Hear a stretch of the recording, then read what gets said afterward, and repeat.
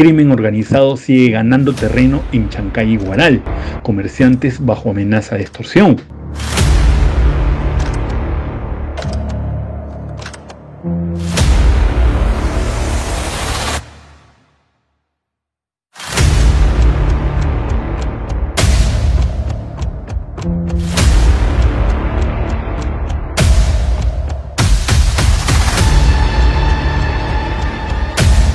El crimen organizado continúa avanzando en la provincia de Guaral, donde los comerciantes se han convertido en blanco de extorsiones por parte de estos delincuentes.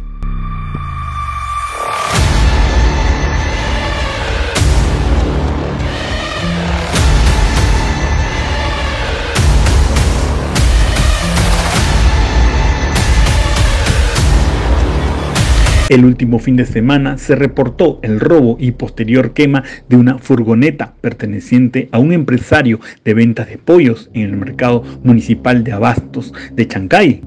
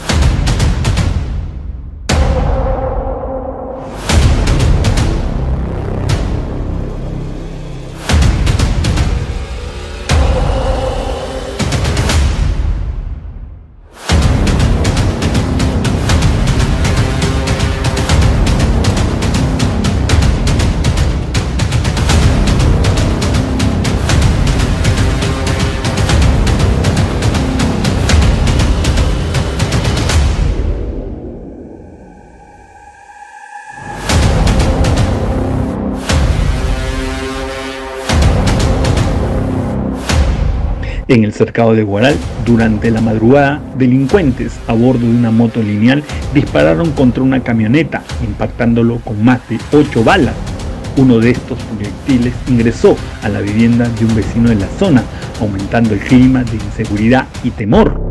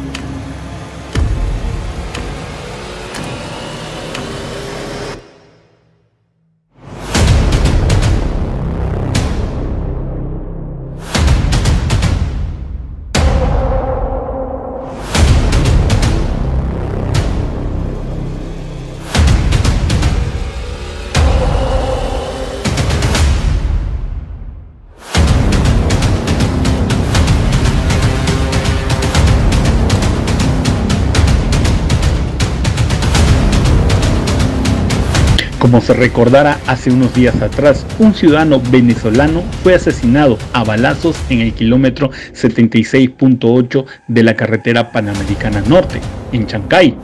La víctima fue identificada como Alexander Quinteros Bracho, de 38 años.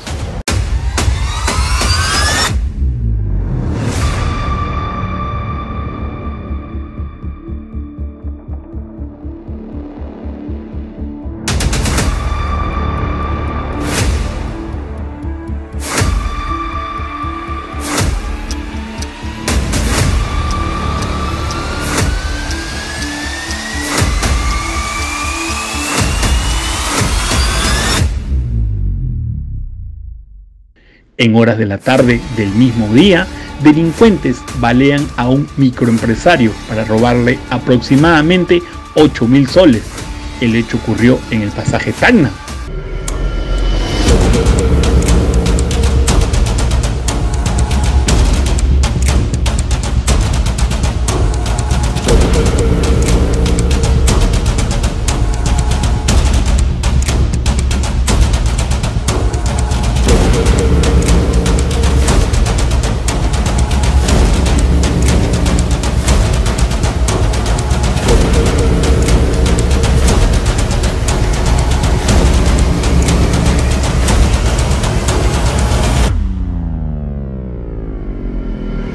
Mientras tanto, el Pleno del Congreso ha aprobado en primera instancia un texto que modifica el Código Penal para definir con mayor precisión las características de una organización criminal y ajustar el procedimiento de allanamiento judicial.